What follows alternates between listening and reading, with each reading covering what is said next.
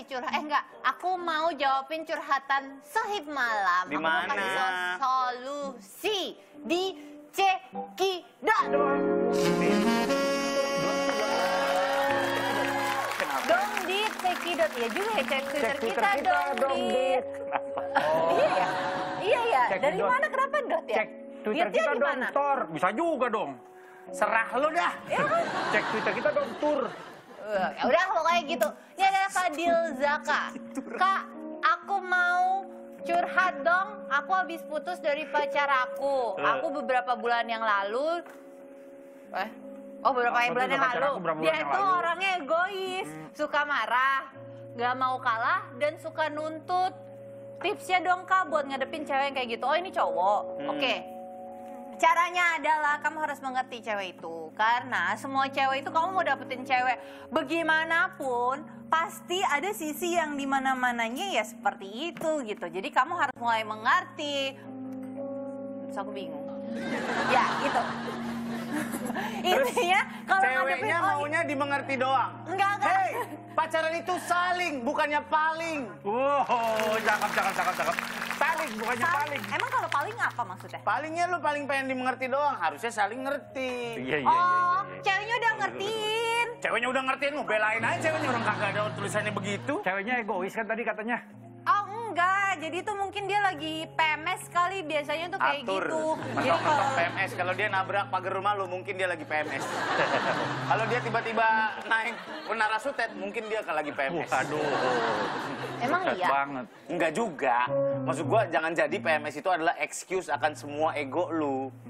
PMS itu apa sih? ya udah kalau gitu kamu cari cewek yang menurut kamu Palang bisa. merah semua. Bukan. Palang merah semua. PMI, Palang Merah Indonesia. PMS. Bukan berarti Palang Merah juga. PMS, PMS, Presiden Syndrome. Aing balik. Sini, jangan biarkan kita berdua. Balik ke mana? Ini kan rumah lo suruh ceritanya. Iya. Ya udah, ya pokoknya kamu harus bisa mencari cewek yang menurut kamu buat nyaman. Jangan Ah. maksain sesuatu. Kalau memang kamu udah tidak merasa nyaman, karena kalau dipaksa itu nggak enak. Jadi dari Ajika La Cakra, Mbak Fakrana, yang cantik. Oh maksudnya aku. aku mau nanya, apakah sakit karena mencintai diam-diam perlu mengisolasi diri selama 14 hari? Itu aja pertanyaannya. Hmm. Oh, apa yang harus aku lakukan? Aku takut kalau nanti makin parah. Kalau mencintai diam-diam itu jangan guys, karena kita harus secepat mungkin kita ngasih tahu perasaan kita.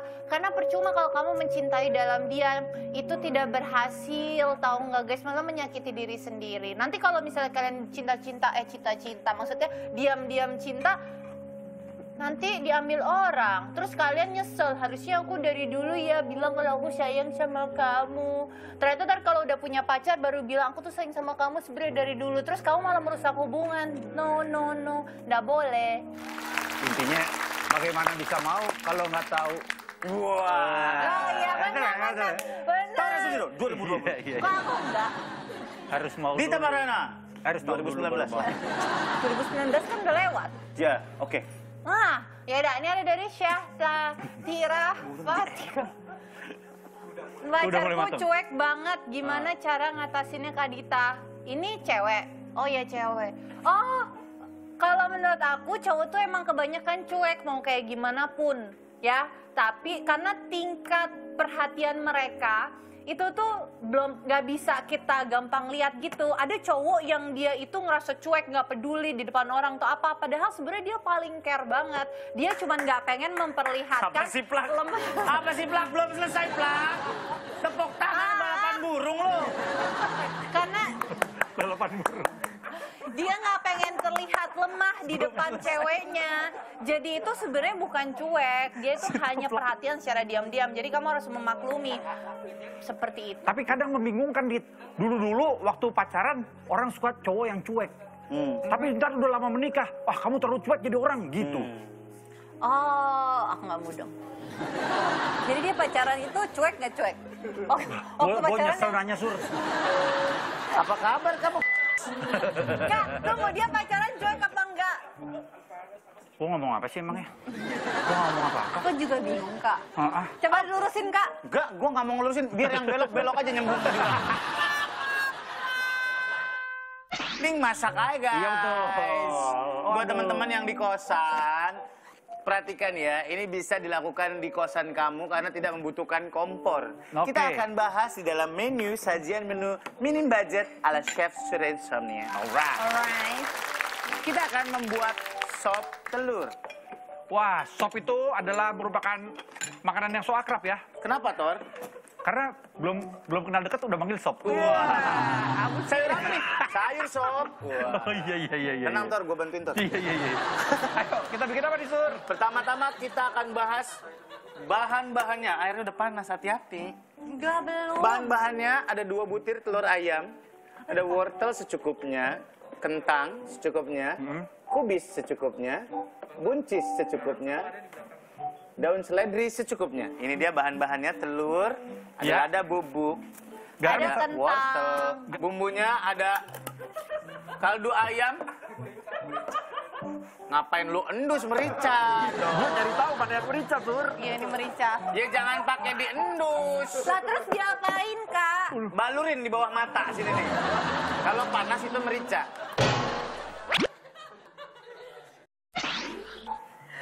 Gula. Itu Lihat pada Oke. bisa diem?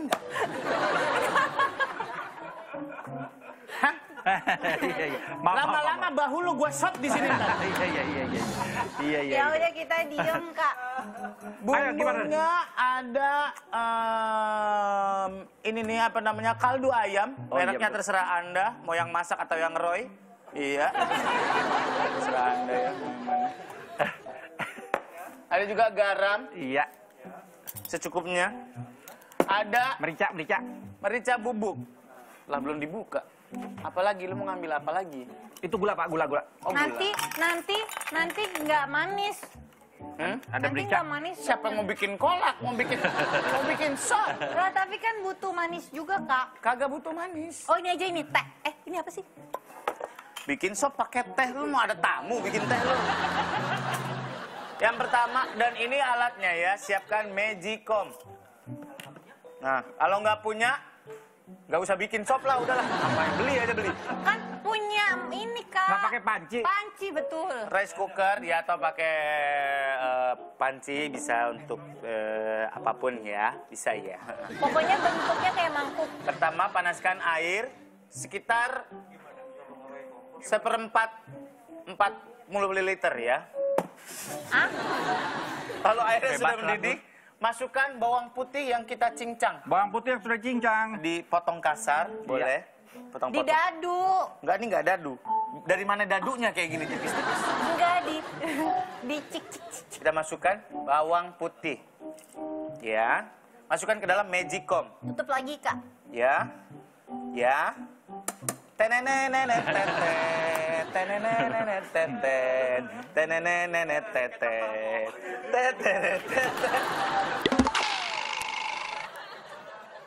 Biar dia kerebus dulu, masukkan sayur-sayuran. Sayur-sayuran. Buncis. Ya. Buncisnya bisa dipotong kayak gini. Nggak nunggu sampai harum dulu kak. Ntar juga lama-lama harum. Kalau mau ma- lebih harum lagi, masukkan beberapa tetes ekstrim. Iya. Masukin kentang, jangan sampai semuanya. Karena harus tetap kentang. Oh iya iya biar nanggung ya. Iya. Iya iya. Semuanya Kentang jangan semuanya. Iya. Sayurannya tambahin aja lagi Pak. ya. Sayuran, ah kentang banget. Oh ya nggak Oh apa-apa. iya iya. Si kentang soalnya. Lalu, masukkan kol. Atau dalam bahasa Bekasinya namanya engkol. Harusnya tadi nggak usah pakai kentang kak. Aku nggak suka kentang. Nggak masak buat kamu juga sih sebenarnya. Kalau kamu nggak suka kentang, nanti dihilangin aja kentang. Ya, ya, ya, ya, Oke. ya, ya. Oke, ya, Mami. Ya, ya, ya, ya, ya. Kau kan jadi kayak robot.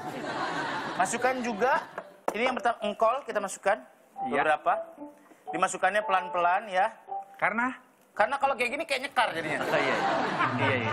Oke, pelan-pelan ya. Serem nih. Mancing aja Cahyono. Iya.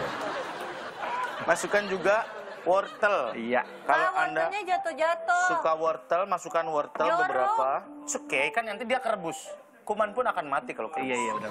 Tunggu dulu sayurannya empuk dan juga dia menjadi kaldu karena sayuran juga bisa jadi kaldu Oh, iya. atau broth. Kok nggak dimasukin kaldunya iya, pak? tadi katanya bilang mau beli sau- sup telur. Telurnya masih di sini. Belum sayurannya belum empuk.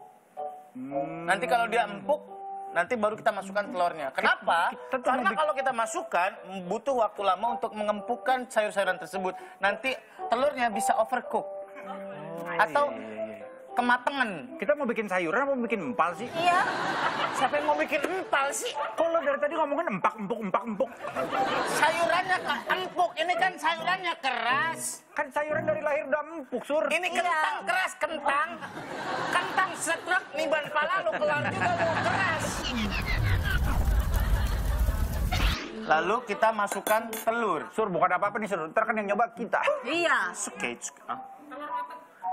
Oh ini telur mateng. Ah, bisa telurnya udah ini yang udah direbus ya. Sama anak-anak udah direbus dari bulan Februari kalau nggak salah. Tapi nggak jadi mateng yang ke bleber-bleber ke mana-mana dong. Bisa Coba buka lagi mau deh. kayak gitu. Maunya kayak gitu. Iya. Agak lama tapi Nggak apa-apa. Durasinya nggak cukup. Cukup. Durasinya. Oh, Oh iya. Iya. Cukup Taruh sini dulu. Gimana caranya biar mencar? Datangin polisi. Hei bubar, bubar. diaduk, diaduk. Nggak diaduk. Diaduknya di sini. Karena biar dia nanti matang perlahan-lahan. Sambil diaduk. Aduk 18 kali ya guys. Wah ada hitungannya. Adem banget. Iya. Kenapa harus masukinnya pelan-pelan? Karena dia kalau kan tadi Tora pengennya telurnya mencar-mencar. Iya iya. Oh, gitu. Ayo lagi. Gue sebor nih. Kenapa Oh nggak? kan jadinya kan kayak putih-putih gitu kalau telurnya mencar. Iya, telurnya mencar. Namanya juga stop telur. Telurnya cuma satu, pelit banget. Iya. Harga telur lagi mahal ya. Nggak mahal-mahal banget juga sih. Nah, abis itu masukin telurnya, baru masukkan bumbunya. Oke. Aku yang masukin bolehnya? Ah, jangan. Tadi tahu gitu yang itu aja. Kira-kira aja ya. Kurang oh, itu banyak mah. banget, Kak. Kira-kira. Kurang dong. Itu malah kurang. Iyalah. Kalau sama bumbu tuh harus berani. Bukan masalah Asin berani. nanti, Kak. Lah, Garam, Ih, asin, Kak. Gula-gula. lalu masukkan Lada. lada bubuk. Terserah kalau mau pedes banget bisa masukin balsam yang warna kuning atau yang merah ya, jangan yang hijau. Hijau kurang panas. Nah, kalau udah selesai kita masukin, kita sajikan ya guys ya. Bisa dipilih sesuai selera. Kalau mau lebih cepat pakai cibuk yang buat mandi ya, bisa waduh lebih gayung dong Pak Iya, namanya. Kalau cibuk kan pakai plastik, Kak. Serah, serah Anda maunya pakai apa. Selanjutnya kita kasih bawang goreng alias ngawap ngerok.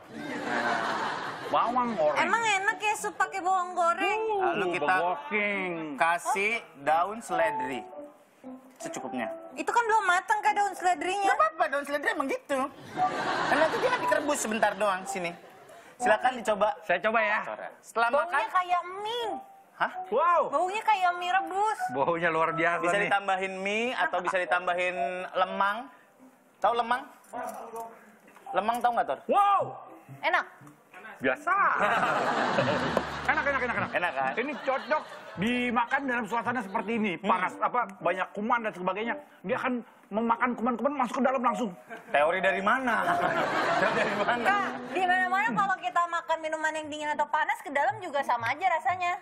Di tenggorokannya. Tenggorokannya agak panas. Kalau mau lebih panas lagi, di knalpot. Lebih panas lagi. Ya udah Ya begitu. begitulah menu hari ini mudah-mudahan bisa dicoba di rumah dan bisa menjadikan keluarga Anda bisa makan bersama sup telur. Ya, thank you. Thank you. Jangan lupa ya. Untuk saksikan malam-malam terus. Iya, kita juga mengucapkan selamat menunaikan ibadah puasa. Selamat puasa.